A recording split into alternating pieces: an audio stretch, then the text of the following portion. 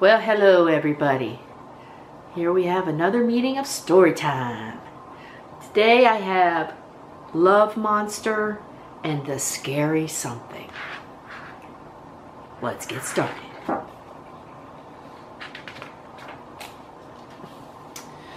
It was way past bedtime o'clock in Cutesville and everyone was fast asleep. Everyone that is except for one particular monster. Hello, love monster. You see, just like every night, he'd made a cup of hot milk with chocolate and sprinkles and counted his way up the stairs. Closed his eyes and snuggled in tight with Teddy. But that night, The harder he tried to nod off, the awaker he was, and the later and darker and spookier it was.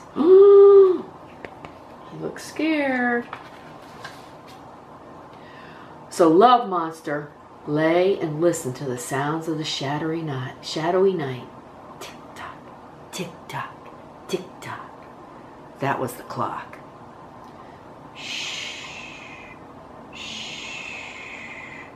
That was the song of the wind blowing the leaves. Woo-hoo, woo-hoo. Well, that was the cutest owl. Russell, Russell. That was the, hold on, what? Was that? It sounded like something in the yard.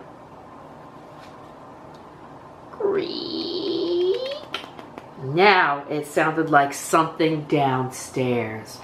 Ooh. Bang! Ah! I think he got scared. He climbed under the comforter, his heart beating loud and fast. There was definitely something out there, and that something had definitely gotten in. Pitter patter, pitter pat, pitter pat. Ooh, it sounded like the something had terrible twisterly toenails.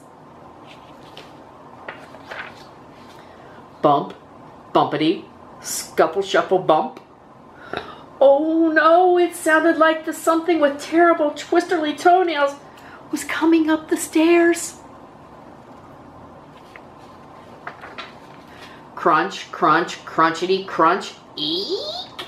It sounded like the something with terrible twisterly toenails had great big teeth. And it sounded hungry. Mmm. Suddenly, Love Monster could bear it no longer.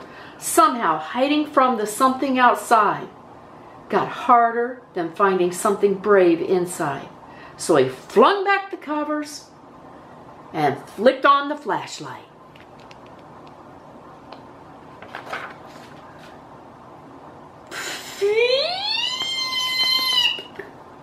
Went the something. Hmm, it's teeny tiny.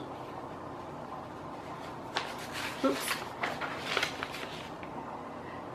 As it turns out, Love Monster hadn't been the only one who couldn't sleep that night.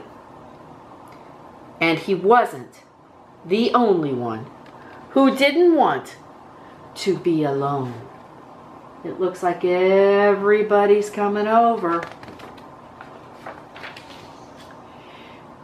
And as the tiniest, fluffiest bunny in Cutesville explained to his, I suppose, a bit googly-eyed friend, they both laughed and laughed until their tummies ached. And you know what? The dark just didn't seem that spooky anymore. You see, sometimes it's only when you're brave enough to face what you're afraid of that you find out there was nothing to be scared of at all.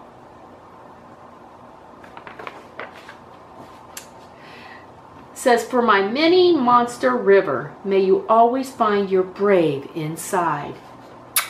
and hugs. So I hope you liked that book. I'm looking forward to us meeting today on our new app, Zoom. And I hope you guys are looking forward to seeing me because I'm looking forward to seeing you guys.